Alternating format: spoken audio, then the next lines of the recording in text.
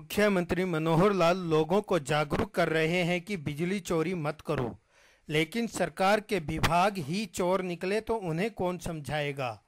जी हाँ, फतेहबाद के भुन्ना में बिजली चोरी का बड़ा मामला पकड़ में आया है।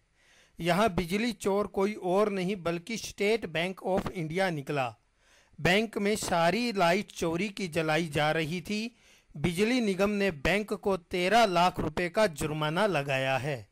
ना में चेकिंग करी थी हमने। बैंक है उसकी चोरी पकड़ी थी। कौन सा बैंक है जी?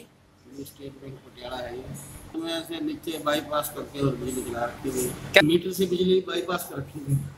मीटर से निकाल के और डायरेक्ट तार जोड़ रखी थी? कहाँ जोड़ रखी थी?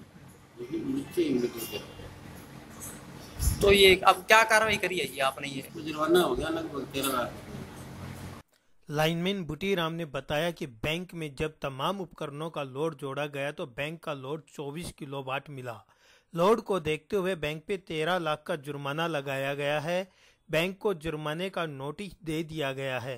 बैंक जुर्माने की राशि जमा करवाकर पाक साफ़ हो जाएगा, लेकिन बैंक का पैसा जुर्माने की राशि में जाने के स्थान पर यहाँ नियुक्त कर्मचारियों के वेतन से जुर्माना भरा जाए तो एक अच्छा उदाहरण समाज के सामने जाएगा। फतेहाबाद से साहिल रुखाया की रिपोर्ट।